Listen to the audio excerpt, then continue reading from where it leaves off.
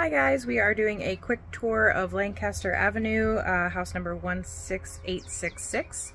Uh, I'm going to flip the walking up to the front door. This is going to be your front patio.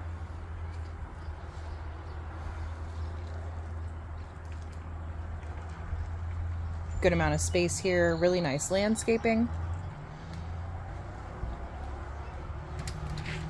Uh, I will do a full walk around the the property uh, after I get through the house. So this will kind of be your first take of it. We've got a beautiful cutout of, um, oh my gosh.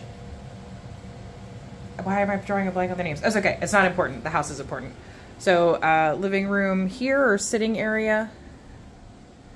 Looking back at the front door and the steps going up. Um, I did a quick walkthrough of the house uh, before coming in with the camera and it looks like it's been uh, kept up very well.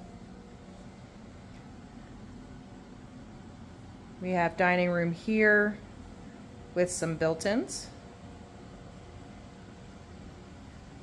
And then walking forward, we go into the kitchen.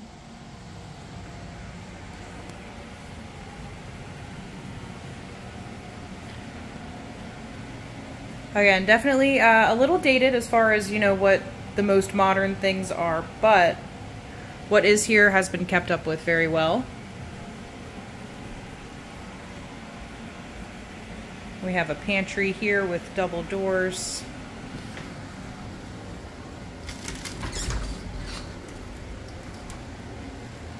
And they're just still using it for some storage.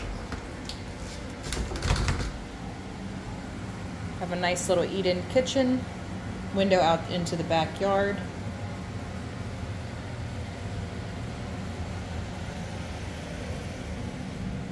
Step down here into the den. With a fireplace. Uh, I'll take a closer look when I get over there. I would assume with the age of the house that it is a wood burning fireplace. Thermostat there, and then your laundry room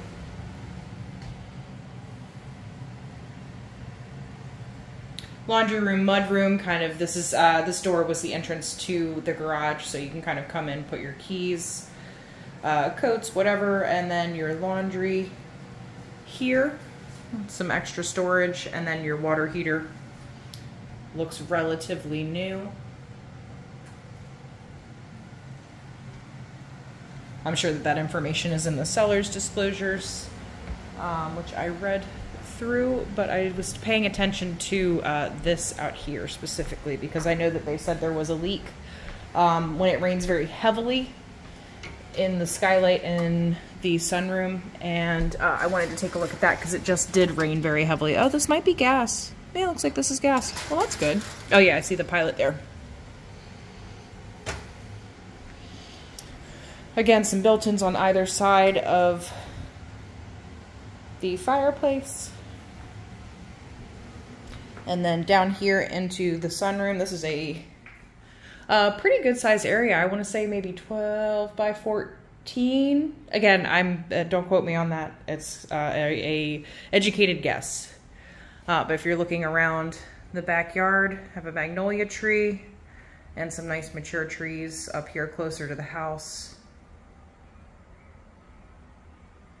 And looks like some holly And again, really nice landscaping and a little brick patio. Uh, and then a sliding glass door that'll take you right back into the den. And you've got your fenced in backyard.